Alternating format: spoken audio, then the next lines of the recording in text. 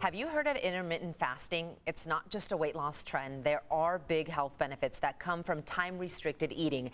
In fact, a new Salk study focuses on who could benefit the most. Professor Satchin Panda joins us this morning to talk about it all. Good morning, Professor Satchin. Good morning. So, welcome to the show. I, I want to start off by saying that I'm a big fan of intermittent fasting. I do the 16 8 1, fast for 16 hours, eat for eight. I have lost weight doing this, but this is more than just that, right? So before we get into the health benefits, let's first talk about intermittent fasting. What's the difference between IF, time restricted eating, all that stuff to uh, get our viewers up to date on what this all means?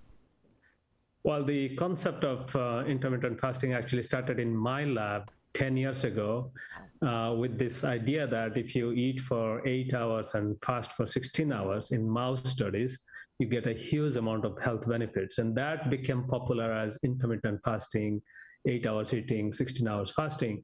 Um, but in most of our studies, we have tested eight hours, nine, 10, 11, and we find anywhere from eight to 10 hours of eating and then the rest fasting uh, has similar health benefits. We don't use the word fasting because there are a lot of people out there who do not like the word fasting and they don't want to fast.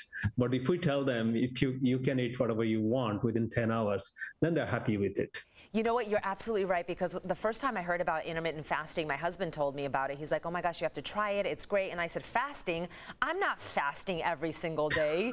and so it was really hard at first. Um, so where do you suggest that people start if they're looking uh, to lose some weight? Let's talk about the weight loss first because for me, it was very hard uh, to go 16 hours, but this includes sleep time.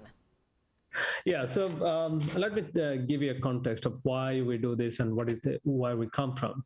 Um, I mean, at the Salk Institute, our mission is to enable everyone to live at their peak physical, intellectual, and emotional performance for their entire life.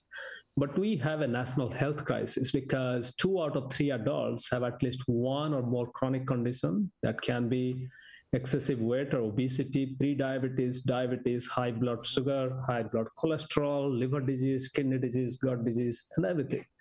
And coping with these chronic diseases can be a huge emotional and financial burden because the money we spend on treating chronic condition can be easily spent for rent, education, and healthy food. So now coming back to your question, so almost 10 years ago, as I said, we started this line of research, and what we find is um, eating somewhere from eight to 10 hours and fasting for the rest of the day, mm-hmm. for the rest of the hours every single day, but at least try for five to six days in a week has huge health benefit. Uh, to begin with, um, some people experience weight loss, uh, but I must be frank that some people do not experience health uh, significant weight loss. They lose a little bit of weight. But what is more exciting is all these diseases that I mentioned people who have pre-diabetes or diabetes or blood cholesterol, high cholesterol, liver disease, etc., they do see some benefit, and some of the benefits can be as much as taking a medication for that condition. And as you mentioned, it also improves sleep. Mm-hmm. When people sleep well, then the next day morning they feel more energetic. They have all the energy to carry out a very happy, productive day.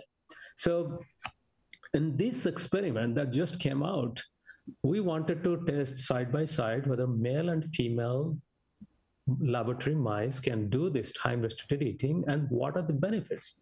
And um, the result is uh, yes it works in both male and female. Young and old um, and the benefits are almost similar for both male and female. The only small difference is the females did not lose as much weight as the males did, uh, but the experiment was only for three three months. So maybe if we had done the experiment for a longer time, the females would have also lost weight. But the bottom line, the, the take-home message is you may not see significant weight loss, but your health can improve tremendously. Amazing. Now, quickly, because we've got to wrap, who should try? Who should try time-restricted eating? Should you talk to your doctor first?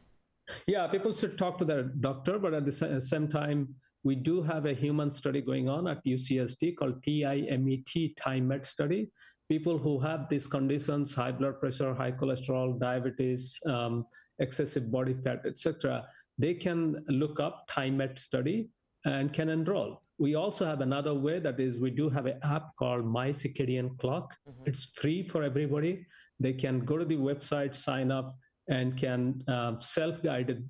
It's a self-guided way yeah. to do time restricting. But one should definitely talk to his or her doctor because some people may uh, experience a little bit um, dizziness yes, from hypoglycemia, yes. particularly those who have diabetes. Yeah, that's what happened with me. Professor Satchin, thank you so much for joining us. Uh, a lot of information there. Uh, didn't know it started in your lab, so thank you very much right here in San Diego. Thank you. Have a wonderful day. You too.